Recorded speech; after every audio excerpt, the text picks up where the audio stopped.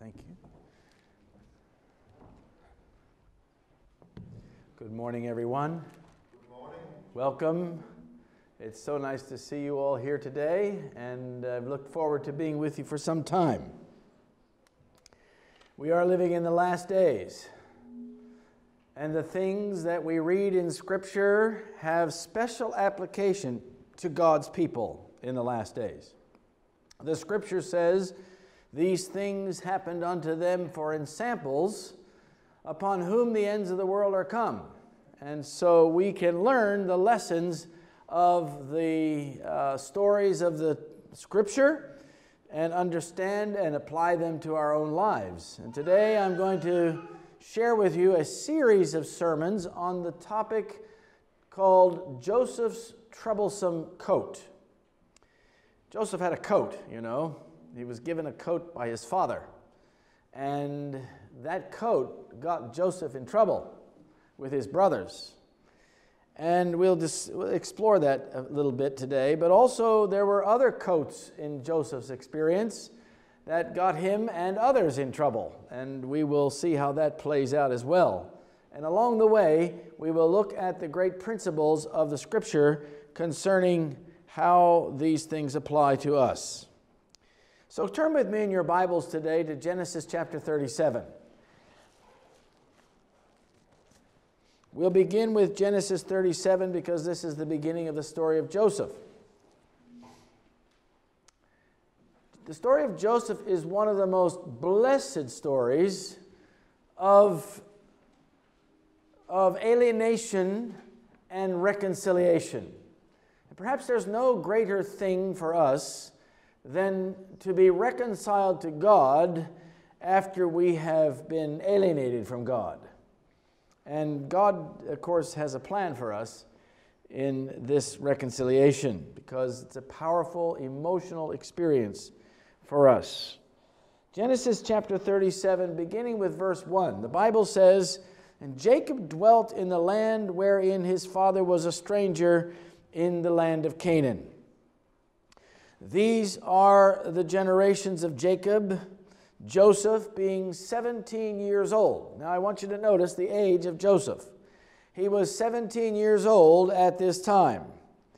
And he was feeding um, the flock with his brethren, and the lad was with the sons of Bilhah and with the sons of Zilpah, his father's wives.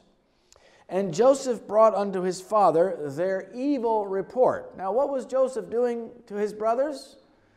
he was telling his father all the bad things that his brothers were doing. Now, nobody likes a tattletale. nobody likes someone who will tell all their evil deeds and bad things. And so his brothers became very unhappy with Joseph because everything they did that was wrong, he would tell his father. I think Joseph may have also felt a little bit of superiority, spiritual superiority over his brothers. After all, when you are constantly noticing the bad things and telling your father about them, you would feel like you are somehow the, the judge or the, the righteous conscience of the family, so to speak. And, and so Joseph perhaps had a little bit of maybe spiritual pride and arrogance in his, in his heart. Um, nevertheless, it says in verse 3 Now Israel loved Joseph more than all his children because he was the son of his old, his old age, and he made him a coat of many colors. Now, this was not an ordinary coat. This coat was a coat of authority and um, position and of respect. This coat was a coat that was designed especially to set Joseph apart from his brothers. It was a coat that was designed to give, give him some level of um, elevation above his brothers. This was not just an ordinary coat. Now, his brothers saw this. In verse 4, it says, And when his brethren saw their father loved him more than all his brethren, they hated him and could not speak peaceably to him. These brothers were angry at Joseph. They were very unhappy with the way Joseph had treated them, and they were also jealous that he was uh, somehow favored by his father. This favoritism perhaps created something for Joseph, or that created a problem for Joseph, because favoritism in the family often alienates the children one from another. they think that mother or father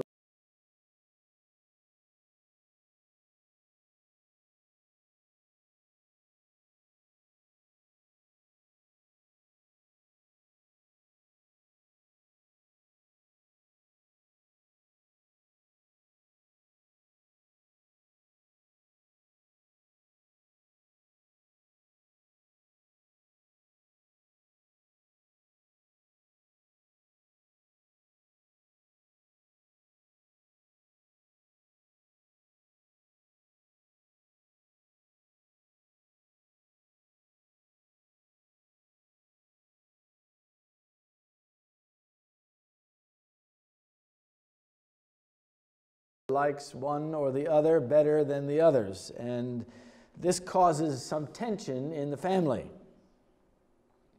If you have had any children of your own, you probably know what I'm referring to. and, uh, you know, parents have to be careful about how they do this. But all of this was in God's, uh, God's way. You know, this coat gave Joseph stature, it gave him um, authority.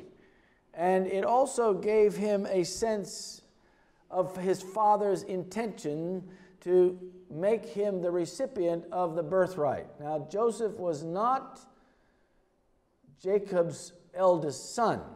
Who was the eldest son of Jacob? Does anyone know who the eldest son was of Jacob? Well, that was Reuben. Reuben was the eldest son, and Reuben was the one who the brothers looked to for guidance and leadership and, and you know, authority. They did not look to Joseph. They hated Joseph, so they weren't going to look to him for authority. so they could not speak peaceably to Joseph.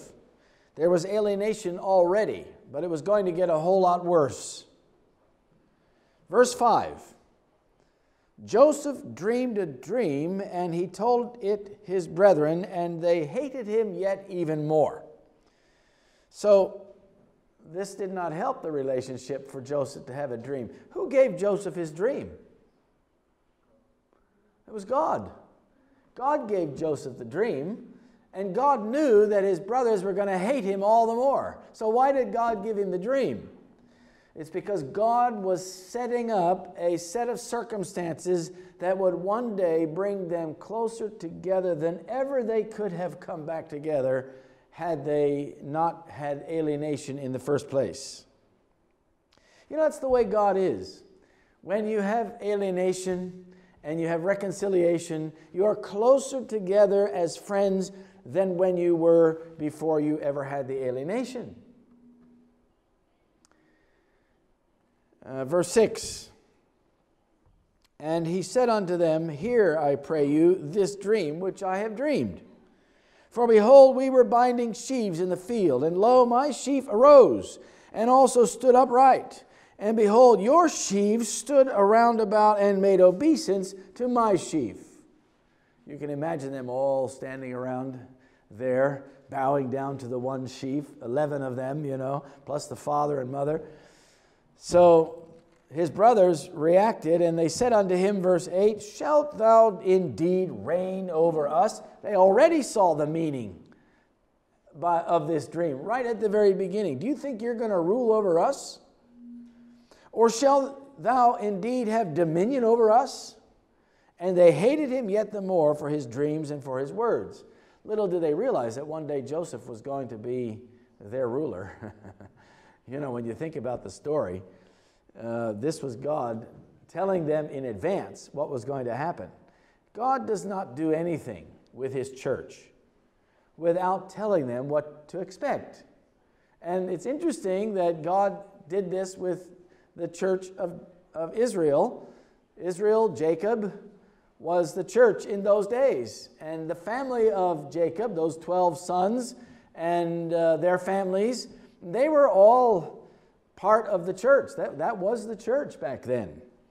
And so when the Bible speaks of Joseph's brethren, it's talking about the church brethren, the brethren who you fellowship with on Sabbath morning, in terms of the application. Um, verse 9, it says, He dreamed yet another dream and told it his brethren and said, Behold, I have dreamed a dream more. And behold, the sun and the moon and eleven stars made obeisance to me. He must have been pretty proud about his dreams. This is really pretty good, you know. And uh, he told it also to his father, verse 10, and his brethren, and his father rebuked him and said unto him, What is this dream that thou hast dreamed? Shall I and thy mother and thy brethren indeed come to bow down ourselves to thee to the earth? And his brethren envied him, but his father observed the saying. Now, what does envy do to us? What does envy do inside of us in our hearts? Envy leads us to murder. If we don't actually outright kill someone, we kill them in our hearts because we envy them. Friends, God never promised us equality on this earth. God has promised that He will sustain us and that He will reward us if we're faithful to Him, but He's never promised us that we would all be equal. You know, one time my, some of my staff accused me of playing favorites.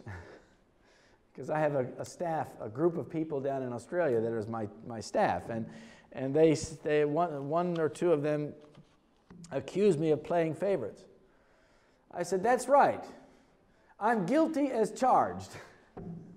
I play favorites. I play favorites with you because you have certain needs and I try to make sure that your needs are met. I play favorites with you because you have certain needs and I try to make sure your needs are met, but they're different needs. And so I favor one, one then I favor the other. You know, we, we, we have to realize that each of us are different, and we can't expect that God will treat us in the same way. Nor has God gifted us with all the same talents. It would be awfully boring if we all had the same talents anyway, wouldn't it? We need each other because we complement each other, and consequently, God has to treat us each a little differently because we all have different circumstances and different needs.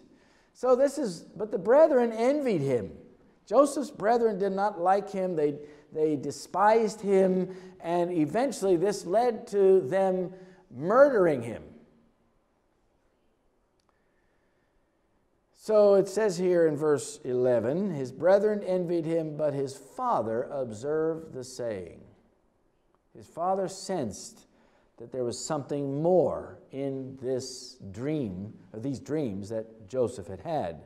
Verse 12 his brethren went to feed their father's flock in Shechem. I want you to think about this for a minute. Joseph's father, uh, or rather Joseph's brothers, could not stand to be with Joseph any longer.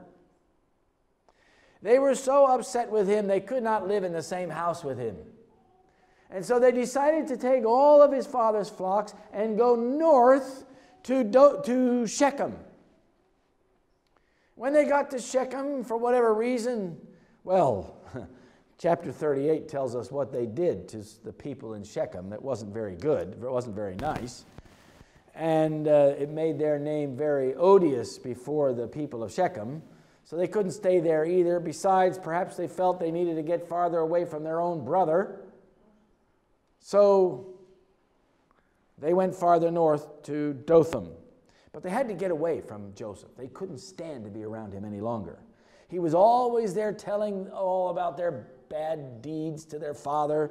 He was always the, the spiritual, righteous conscience for the family, and that just did not set well with them. So then in verse 13, it tells us that Israel said unto Joseph, Do not thy brethren feed the flock in Shechem? Come, and I will send thee unto them. And he said to them, Here am I. Said to him, Here am I. Verse 14, and he said unto him, Go, I pray thee, see whether it be well with thy brethren, and well with the flocks, and bring me word again. And so he sent him out of the vale of Hebron, and he came to Shechem. Now, these words are very significant. It says here that he sent him out of the vale of Hebron. Now, I want you to think about what this really means. Joseph would not come back to Hebron again until after the death of his father, many, many, many years later. He would not see his father's tents. He, would, he was being sent out from the comfort and the love and the companionship of his father and his family. He was being sent away never to return. Little did he realize that this was what was going to happen, but that was what it was actually going to happen. He would be alienated from his family and his friends and anyone else that he knew and loved. He would be in a strange land with strange ideas and strange lifestyle and strange everything. Now, I want you to think about Joseph before we go any further as a little boy. Well before he was 17 years of age. Maybe he was five or six or seven years of age. Maybe he was eight or nine years of age. I don't know exactly how old he was, but there's no doubt in my mind that Joseph sat on his father's knee and he listened to the stories of his father and his grandfather. His father, his grandfather Abraham, uh, Isaac, pardon me, and his great grandfather Abraham. In fact, when he was a small child, he may even have sat on his great grandfather's knee um, and listened to the stories of Abraham's walk with God. You know, the stories were very famous, and they were handed down from one generation to the next. Let me just interrupt for a second. Please come sit down. We have seats right here in the front on this side. Welcome. Thank you for coming.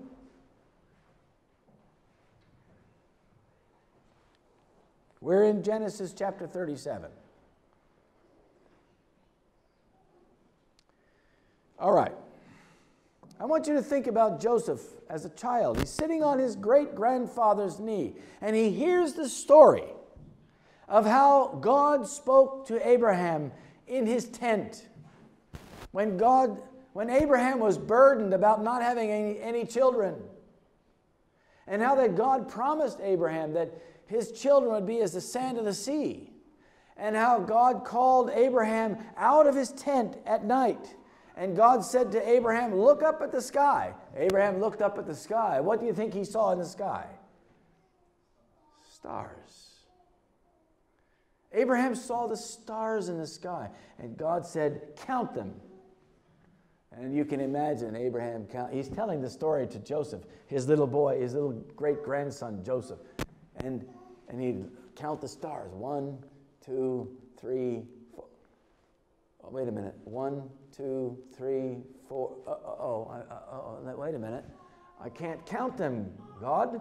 There's too many. And they're all concentrated together. I can't, I can't seem to count them all. God says that is going to be the number of your children. So many that you cannot count them. But I have no child. You leave that to me, God said. So Joseph, uh, J- Joseph heard the story of Abraham's experience of faith with God. Abraham had to take God at his word that his children would be as the stars of heaven. That was a promise to Abraham. And Abraham, no doubt, told his great grandson Joseph, This is God's promise to you also. You are part of the family that God has promised us. Then jo- Joseph would sit on his grandfather's knee, Isaac, and on his great or his father's knee, Jacob, and he would hear the stories. For instance, the story about Jacob's experience with Christ. Here was Jacob laying on a rock in the middle of the wilderness, running from his brother Esau. And he has a dream. And this is where Joseph began to realize that dreams were a part of God's way of communicating to his church in those days. And um, so Jacob had a dream, and the angels of God were on a ladder coming up and down between heaven and earth. And God promised Jacob that he would be with him wherever he went. And he was not to fear because he had God with him. Are we to fear in our lives, my friends?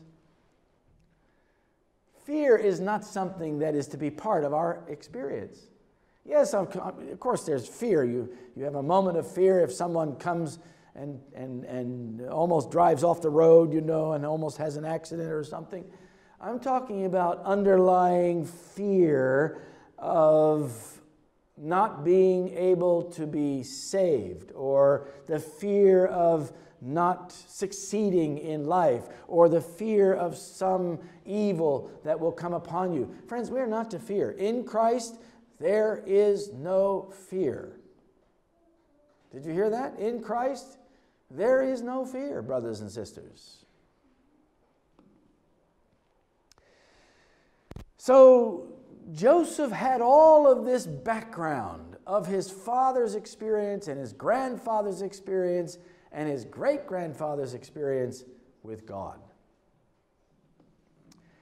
And as he went to see his brethren, he had no idea that he would never again return to Hebron until after his father had died many years later. He was sent out of the vale of Hebron. God sends you away from your comfort zone. He sends you away from your families. He sends you away from your friends and those who would lead you perhaps even in wrong paths. And He sets you on a course of your own so that you can have your own walk with God. When God sent Joseph out of the vale of Hebron, He was establishing a principle that we also can understand. Because sometimes God sets us out on our own.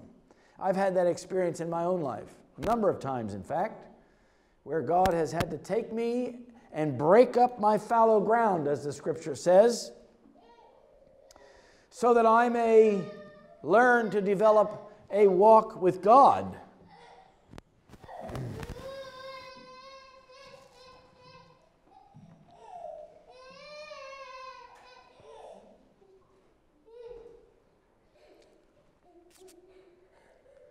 That I could walk with God and learn to depend on God myself, learn to live in the light of His presence rather than in the sparks of my own kindling.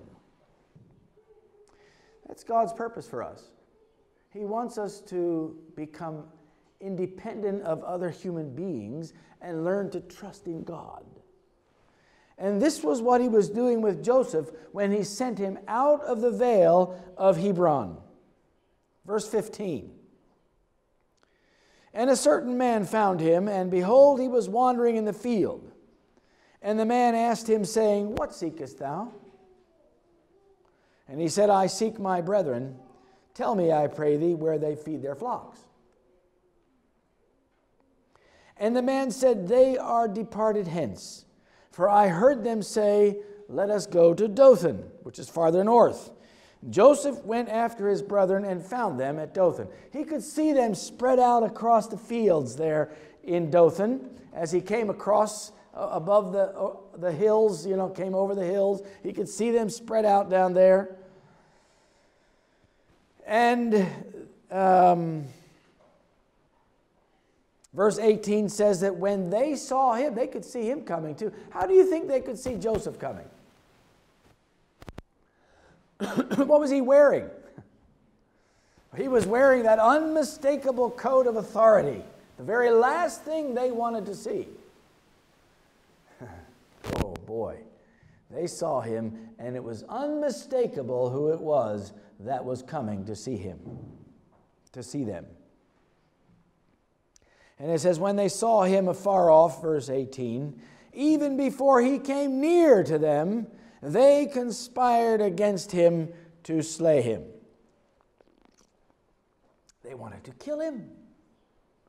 Here he was coming to benefit them, and they wanted to kill him.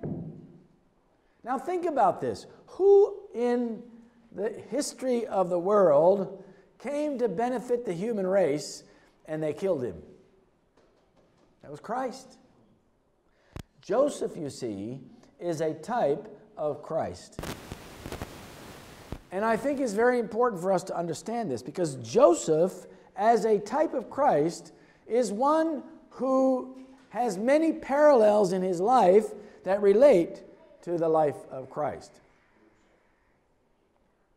Now, let us look at verse 19. By the way, before we leave verse 18, it was the priests who, who um, uh, conspired to slay Christ. It was the priests who did the evil work of trying to oppose Christ and to destroy him. These brethren of Joseph were like the priests in Christ's day. So they said one to another, Behold, this dreamer cometh. You can hear the sneer in their voice.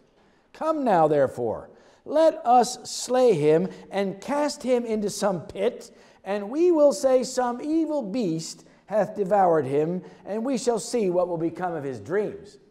Well, they were going beyond God's purpose, and God was going to prevent that. Notice that they were going to lie to their father that some evil beast had killed him. They were the evil beasts. When you think about it, they were the ones who who were acting like animals. But Reuben, the eldest, and to whom they had a, had a respect and, author- and had authority over them, Reuben heard it and delivered him out of their hands and said, Let us not kill him. And Reuben said unto them, Shed no blood, but cast him into this pit that is in the wilderness and lay no hand on him. His idea was that he would rid him out of their hands to deliver him to his father again.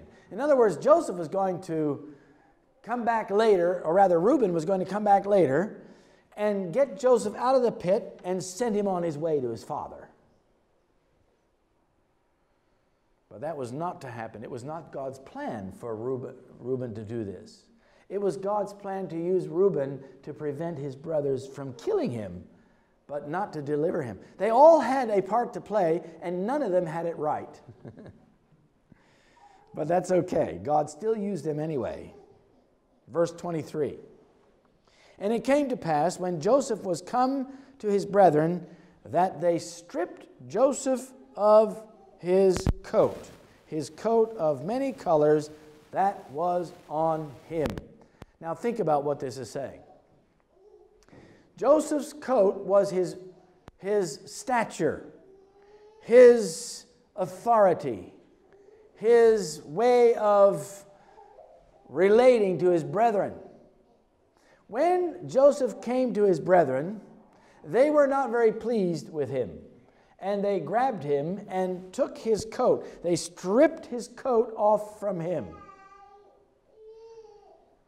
Now think about it. What does this say? These brothers had to remove, symbolically remove the authority, the mantle of authority from Joseph. They had to take him off of his pedestal and bring him down to earth.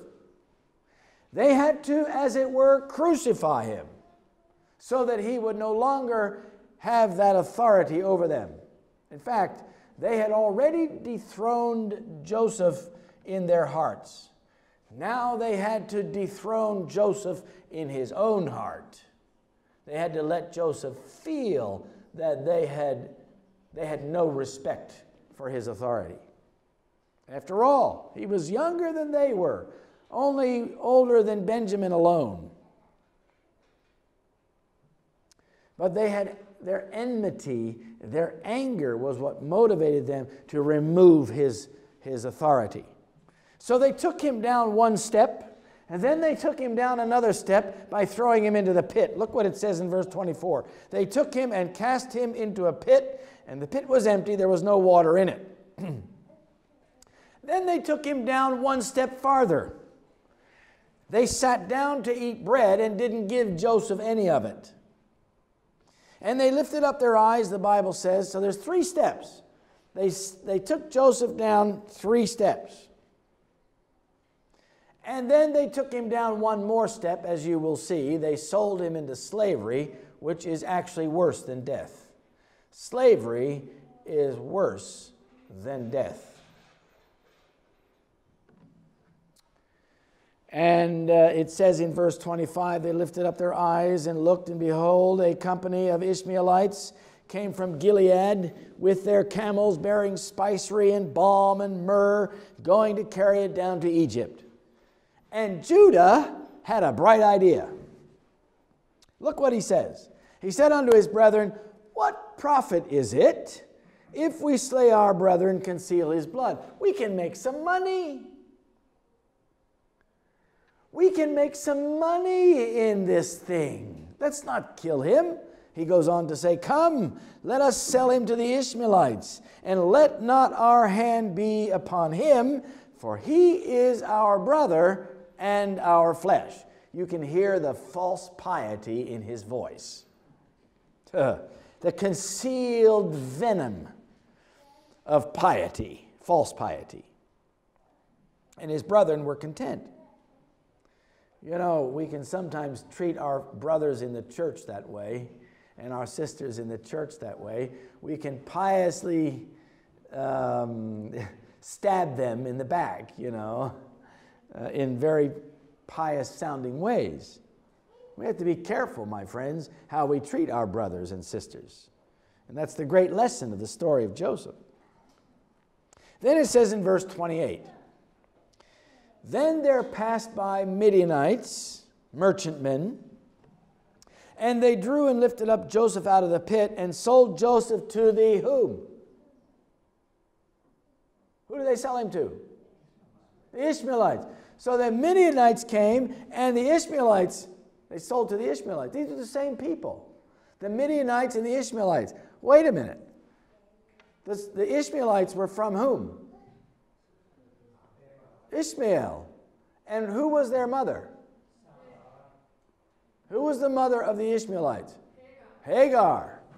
She was, well, was Ishmael the son of promise?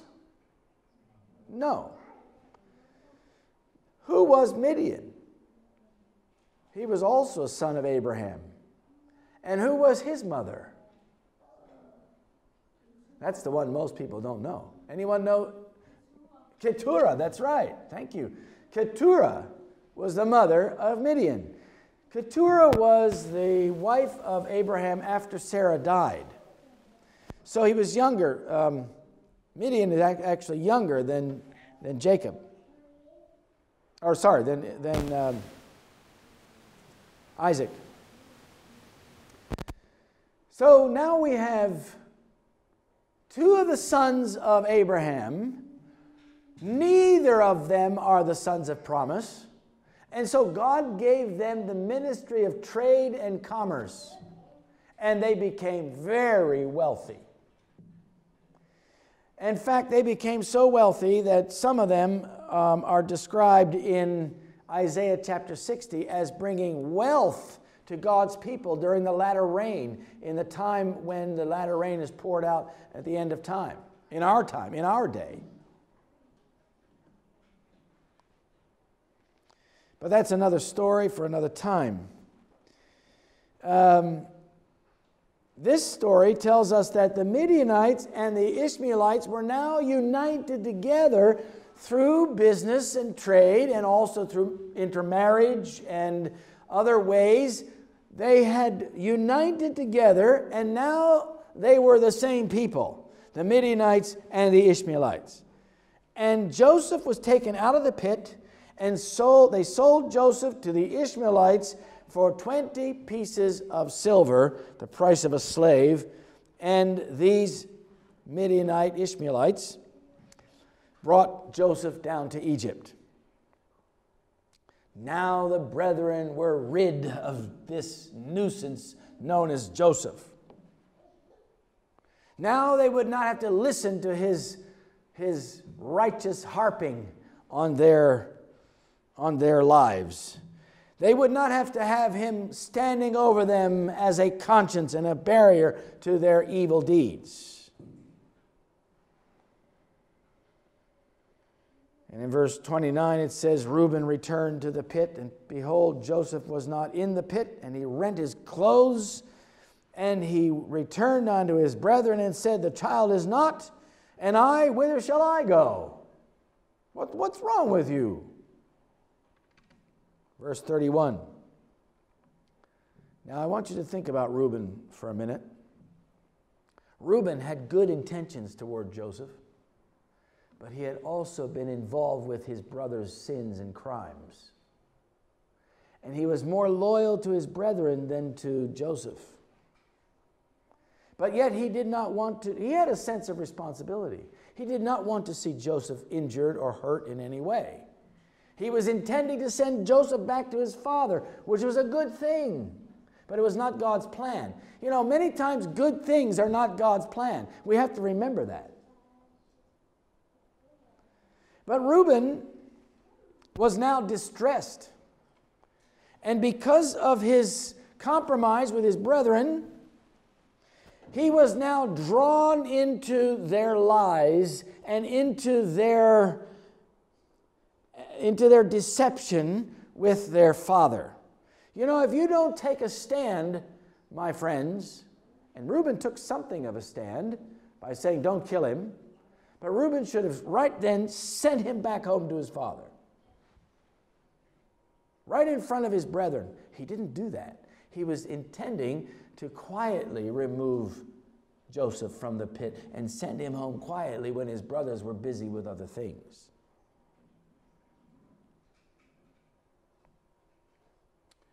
What do you think would have happened if Joseph would have been delivered by Reuben and sent back home to his father? Joseph would have certainly told his father what happened to him. And this would have created problems for the family, big problems, because they intended to kill Joseph. You can imagine how Jacob would have felt if he had learned of Joseph's, uh, from Joseph what his brothers had tried to do. Now Reuben could no longer stand independent of his brothers. He was drawn into their deception. And it says, They took Joseph's coat, verse 31, and killed a kid of the goats and dipped the coat in the blood. And they sent the coat of many colors, and they brought it to their father, and they said, This we have found Know now whether it be thy son's coat or no. Jacob was devastated, absolutely devastated. He didn't realize, he wasn't thinking, his brothers had actually separated themselves from Joseph. They were distancing themselves from responsibility as well as from their brother when they said, It's thy son it is not our brother. Thy son. Is this not thy son's coat? They didn't say, This is not our brother's coat. Is this not his? So they were, they were, in a way, they were putting a knife into Jacob, maybe even without realizing it. And the Bible says in verse 33 He knew it and said, It is my son's coat. An evil beast hath devoured him. Joseph is without a doubt rent in pieces. Okay, so now his brethren had lied to their father, and the fact is they would have to maintain that lie for over 20 years. They would have to watch their father grieve for over 20 years. And they would have to keep their mouth shut for 20 years as they maintained this facade of a deception. Verse 34 Jacob rent his clothes and put sackcloth on his loins and mourned for his son many days. And his sons and his daughters rose up to comfort him. Just think about this. His sons and daughters rose up to comfort him in his distress. Was this sincere comfort? Not at all. This is fake comfort. In fact, they brought him fake news. so we can be sure that in the last days there will be fake news about God's people. There will be those who will misrepresent God's people, just like they misrepresented Christ. There were false witnesses that came against Christ. And there will be false witnesses that come against God's people. Fake news, we say. And his sons and daughters rose up in their hypocrisy to try and comfort Jacob. But he refused to be comforted, and he said, For I will go down into the grave unto my son mourning. Thus his father wept for him. Now I want you to think for a minute at the time of the cross, when Jesus hung on the cross, all heaven was in stunned silence with what happened at the hand of his brethren to Jesus Christ. And as they mourn, as heaven mourned for Christ, the earth was dark, and the thunder roared, and the lightning struck. But then, over the Sabbath, the Sunday morning, Jesus rose from the dead, and all heaven was rejoicing once again. You know, Jacob's anguish and sorrow over his son's death is like the anguish and sorrow of God over the loss of Christ or over the crucifixion of Christ.